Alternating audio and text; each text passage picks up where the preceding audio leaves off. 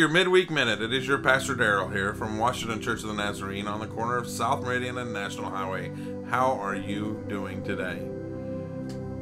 Christmas is just days away, and this is last week we've been talking about His love. That the lo- love has has multiple roles, doesn't it? Your role and my role and His role. His role is a lot more better than our role, isn't it? In while we were still sinners, Christ died for us. Man, that statement has so much inside of it. It's His love for us. See, He didn't have to say, I love you. He showed it. He sent His Son to be born just to die. That while we were still sinners, His unconditional love, see, His love doesn't come with any strings. Now we have to accept it. But His love is available for all. And His love took action.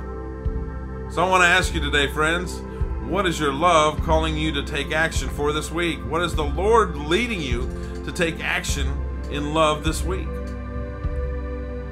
Take care of an act of kindness or an act of love. Let's stop calling them act of kindnesses and actually ground those acts in love. True love, agape love, unconditional love. So, what acts of love are you being called to do this week? As we sit around a tree and we open up those gifts and the little ones are have the smiles from ear to ear remember it was his action that showed us love this week.